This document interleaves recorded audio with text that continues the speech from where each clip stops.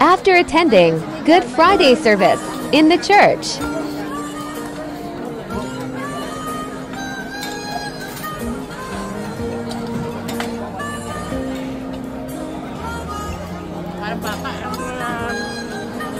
And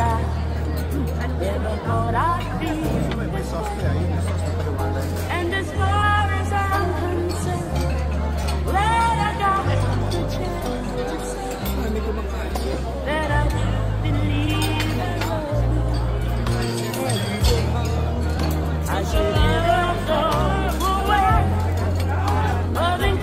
We went to Continental, seafood restaurant, in Richmond for dim sum.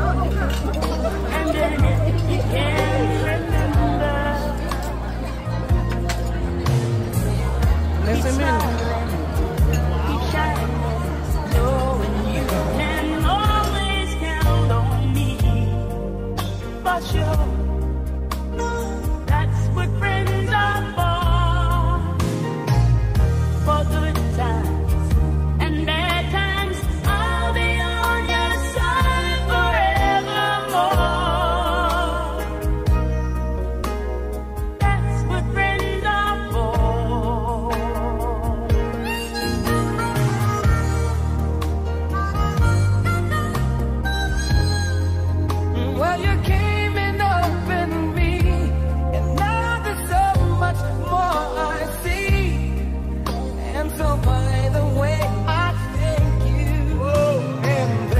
Our bill was divided equally. LOL, that's what friends are for.